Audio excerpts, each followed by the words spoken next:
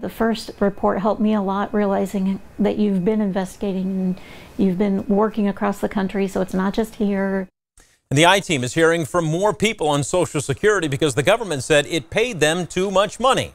Last week, News Center 7 first reported on our year long investigation. And the Social Security Administration said it paid out more than $20 billion to people who should not have gotten that money. It wants it back. The I-Team's John Bedell looks at how this is impacting people right here in the Miami Valley. In South Montgomery County, Kara Kendall is on Social Security disability insurance. It's her only source of health insurance, and she calls the money a significant chunk of what comes into the family's bank account every month. It's about a half to a third. But at the end of 2020, it was an overpayment notice from the Social Security Administration that came in the mail.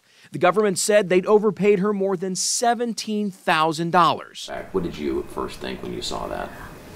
You've got to be kidding me. um, I was angry, honestly. To get that money back, the agency is now reducing her monthly checks.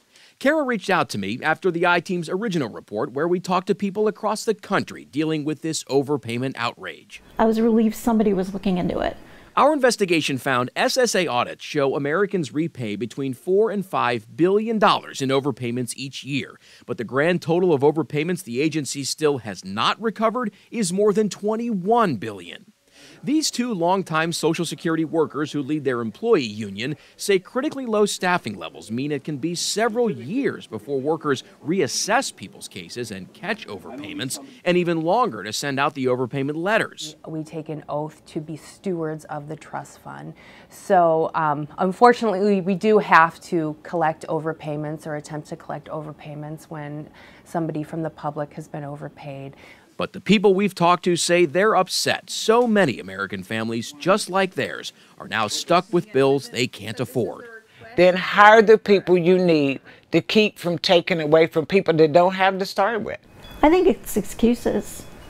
Um, because when they sent me over payments, they said it went back all the way to 2007. So you can't tell me in 15 years they didn't figure it out before that. Well, I guess 13 from 20. The I-Team's John Bedell joins us now. John, people facing this problem turned to you for help, and you in turn reached out to our elected leaders. We did, Cheryl, because four people, including Kara, who you just heard from, have reached out to me since our original report. We're working to tell their stories.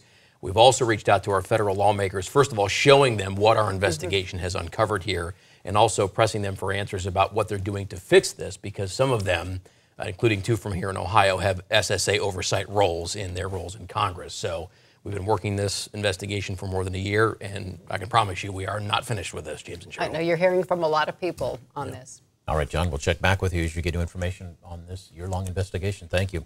And of course, folks, if you have a story our I team should look into, here's the number you need to call 937 535 7777. Be sure to leave us a message.